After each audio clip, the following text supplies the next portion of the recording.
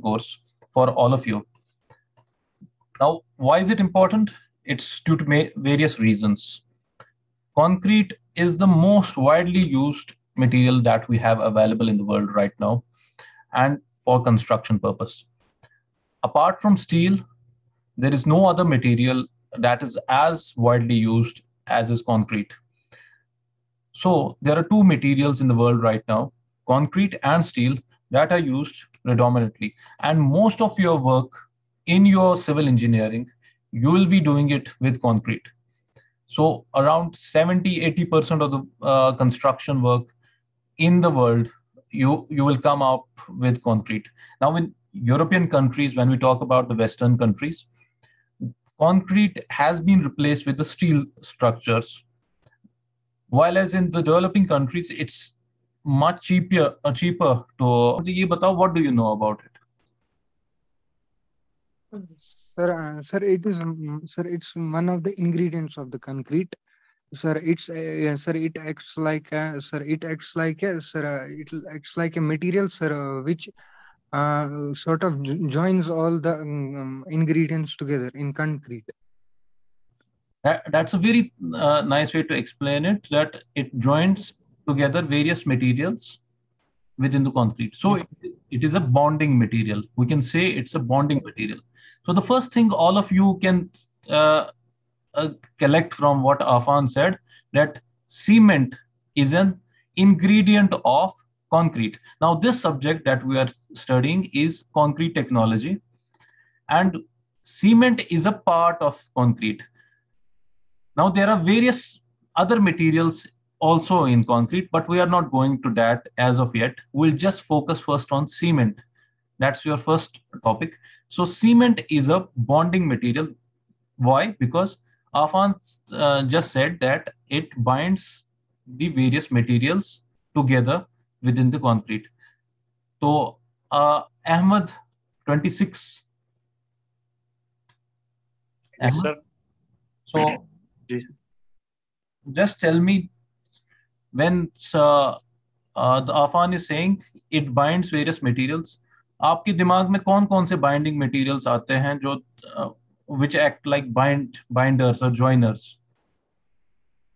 कौन कौन से मटेरियल ग्लू ग्लू फेविकोल वगैरह ग्लू फेविकोल एल्फी हाँ so these and there are epoxy resins as well apart from all these which you can recollect there are epoxy resins जो आप when you put down the flooring mat डालते हो आप तो आप epoxy raisin से bind करते हो sir.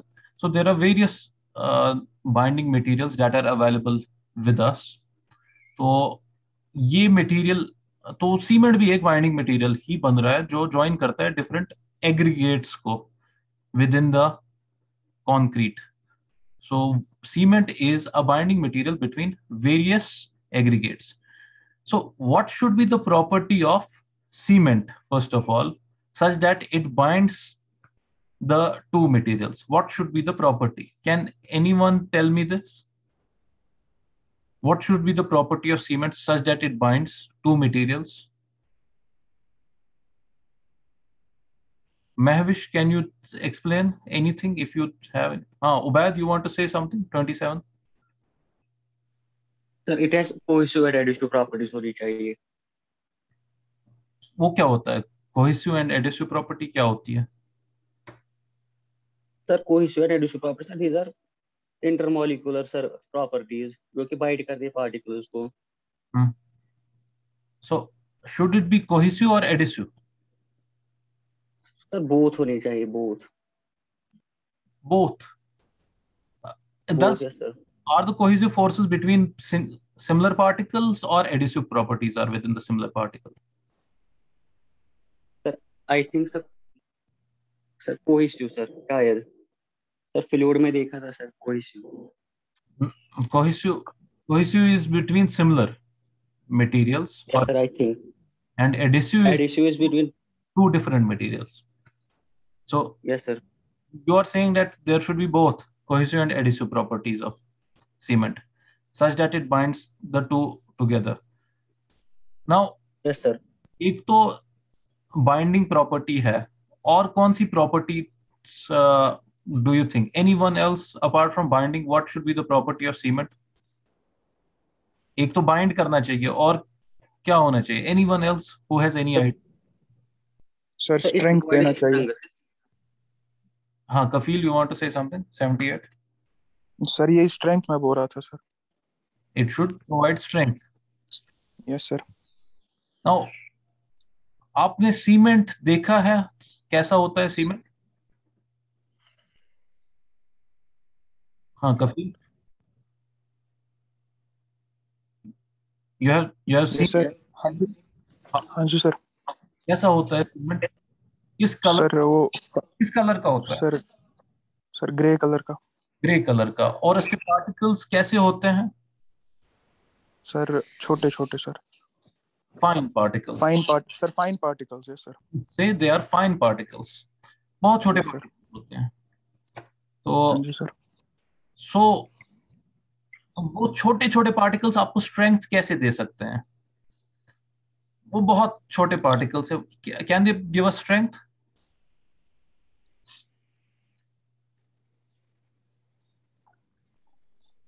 do you think they can give strength बहुत छोटे पार्टिकल्स है कैन दे गिव स्ट्रेंथ अगर मैं उस सीमेंट के बैग पे लोड डाल दूँ वो फट जाएगा वो तो फूल जाएगा बाहर निकल जाएगा। Can can cement give strength anyone else sir जब ये वाटर के साथ मिक्स uh, होता है तो वो सेट होता है cement you this this is what this is what i wanted to hear. uh, it is se- uh, setting so what so when cement sets in combination with water when cement sets in combination with water तो वो उसकी एक और property बढ़ जाती है now that property is hardening so there are two more things the first thing is cement is a binding material the second thing is cement sets and then hardens what muntaha was just saying the cement जब water के साथ मिल जाता है तो एक chemical reaction हो जाती है there is a chemical reaction that happens with the water and that chemical reaction uh, hardens the cement so there are two properties associated more with cement one is binding is first second and third is setting and hardening now, is there a difference between setting and hardening? Yes, there is a difference between setting and hardening of cement, water. Then what happens is that the reactions start happening between water and cement. So after some time, you will notice that the water is gone and only that you can see is a cement paste. आप क्या देख सकते हो एक cement का paste initially आपको water and cement अलग अलग दिखेगा उसके बाद जब वो कंबाइन होगा तो लगेगा कि सीमेंट पार्टिकल्स वाटर के अंदर सस्पेंडेड है। उसके बाद एक स्टेज ऐसा आएगा कि एक सीमेंट का पेस्ट बन जाएगा। You know what is paste एक पेस्ट जो, जिसको आप ऐसे रगड़ सकते हो। और फिर आपको कुछ टाइम के बाद ये पता चल जाएगा कि वो सीमेंट का पेस्ट काफ़ी हार्ड हो गया है। Now the initial phase when that cement was combining with water and the wa- cement particles were suspended in water. That phase was the initial phase when cement was just suspended in the water. But once it started to become a cement paste that is setting of cement has started. So the setting of cement has started within some minutes of combining water within the cement and the reactions have started to uh, undergo within the cement so these reactions these chemical reactions on which i will come on to later on these are exothermal reaction exothermic reactions they are chemical reactions they are exothermic and they generate heat within these reactions that are happening within the cement what you ha- will come to know that the paste that is formed that will वो paste 10 minute में बन जाता है आपको तो उसको हम कहते हैं setting time is around 10 minutes जब आप पानी उसमें ऐड करते हो तो 10 मिनट के बाद उसका पेस्ट बनना स्टार्ट कर जाता है and it's begins to set तो सेटिंग टाइम इंपॉर्टेंट है from the setting of cement why because जब आप सीमेंट को पोर करोगे कहीं पर you always have to pour the cement somewhere तो सीमेंट के कॉम्बिनेशन के बहुत सारे फेजेस होते हैं। पहले आप पानी को मिलाते हो सीमेंट के साथ, फिर आप उसको प्लेस करते हो कहीं पर।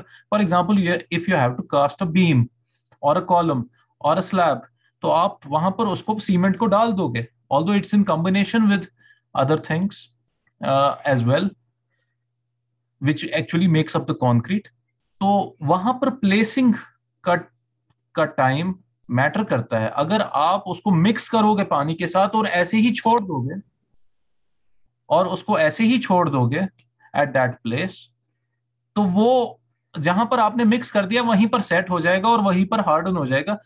Then it's of no use. So within some minutes, you have to take that cement from that side once you, after mixing and place it जहाँ पर आपको प्लेस करना है। और आप ये देखोगे कि जिस फॉर्म वर्क में मैं उसको प्लेस करता हूँ, आपने देखा होगा, सबने देखा होगा कि मैं बीम कास्ट कर रहा हूँ या स्लैब कास्ट कर रहा हूँ, एक फॉर्म वर्क होता है, उसके अंदर मैं कंक्रीट का पेस्ट डालता हूँ नॉट सीमेंट कंक्रीट का पेस्ट डालता हूँ, उसका एक इंग्रेडिएंट सीमेंट भी है तो वो एक पर्टिकुलर फॉर्म उसमें बना लेता है तो उसको हम कहते हैं कि ये सेट यहाँ पर हो रहा है तो एक टर्म यहाँ पर हम, आप सबने सुनी होगी, जो कि हर मिस्त्री कहता है कि ये सीमेंट सेट हो जाएगा एवरी मिस्त्री विल टेल यू अभी मौसम ठंडा है ये सेट नहीं होगा तो ऐसे टर्म्स आपने सुने होंगे so this is setting it it sets in one place it starts to then harden so once it's setting then it starts to harden so there are two phases associated setting and hardening of cement so what is this uh, prop from this property of cement it can also be known as hydraulic cement so remember this कि हम इसको hydraulic cement भी कहते हैं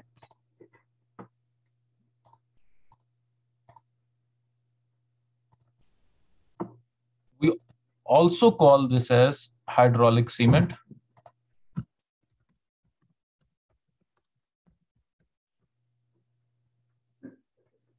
Now, why do we call it as hydraulic cement? Because it has got hydraulic properties of combination with water, it undergoes a chemical reaction. So, what are the constituents of cement? There are particularly two constituents of cement. And this is important to know because we have to know where do we get the uh, cement from. There are two constituents of cement. One is silicates, and the second one is aluminates. These are two constituents of cement, and these silicates and aluminates you can get from lime from chalk, from limestone, and you can get the aluminates from clay. Now, these are both naturally occurring materials. They are both naturally occurring. Lime is a natural material, clay is a natural material. Lime is a stone, actually a limestone, or uh, you, from which you can get also get the chalk, chalk so, uh, and then clay, again, it's widely available throughout the world. So why is cement so important for all of uh, us as building material? Because the basic constituents of cement are widely available. Lime as well as clay, they are widely available throughout the world.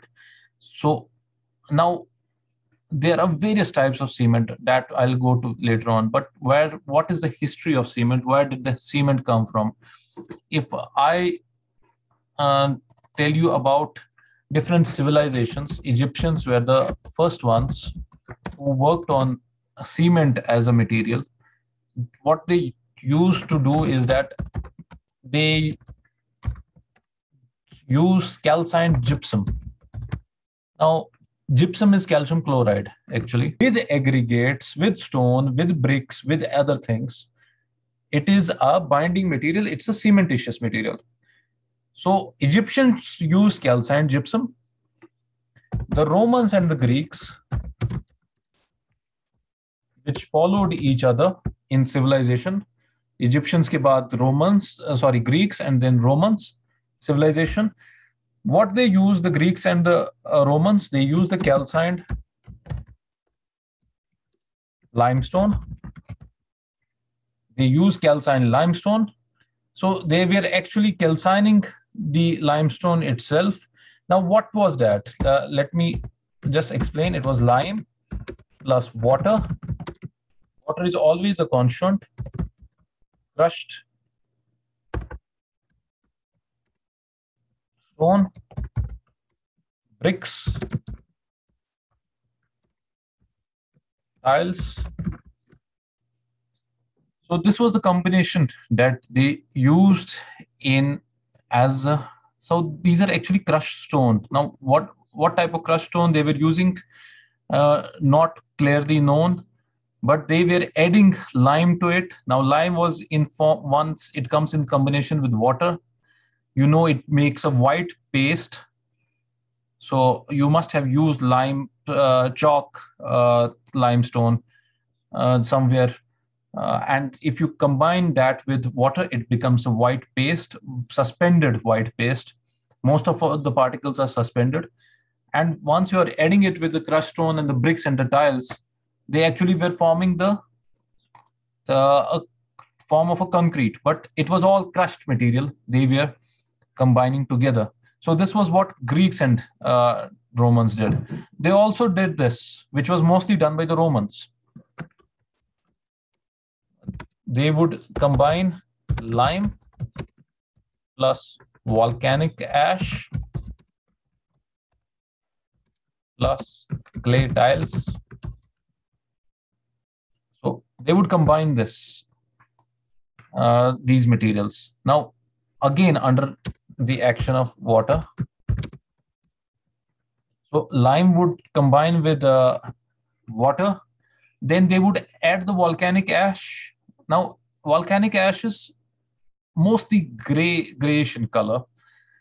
And we also call it as a pozzolanic material And all, because these are found from volcanic ash would mean it's a metamorphic rock. Does any one of you know what is a metamorphic rock?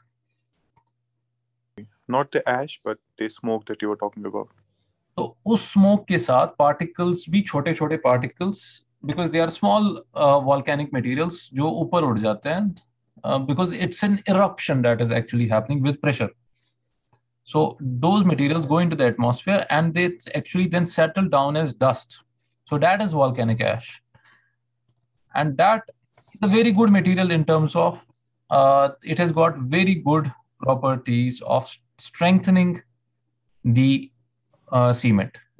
So that volcanic ash is used in, uh, was used by the Romans along with lime, which would combine with water. Lime or water आपस में combine कर रहे हैं. then volcanic ash usme it's, uh, it's adding the properties and then the clay tiles. Uh, now they would also be crushed and so they are added uh, into this. Now what is the purpose of clay? I'll come to that later on as well. So now this from this you come to know there is a pozzolanic material like volcanic ash. This is known as pozzolanic material which is also added to cement, which could also be added to cement. Now, pozzolanic material, because it's igneous information, so uh, sorry, metamorphic information, so you would have it formed mostly from, it would come below the lithosphere uh, से जो नीचे layer होती है of the earth's crust it comes from there and um, which is the metamorphic layer. Is it active silica plus alumina? Am i right? Below lithosphere there is metamorphic layer. Sorry, mantle. Is there mantle below lithosphere? Am I right? Of active silica and alumina, okay, in ash, which I am talking about in this volcanic ash.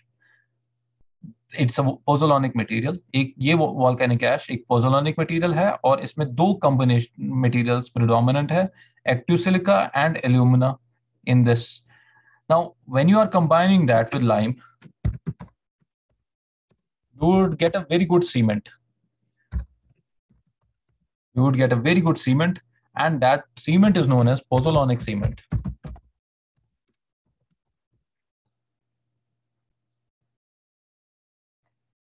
pozzolanic.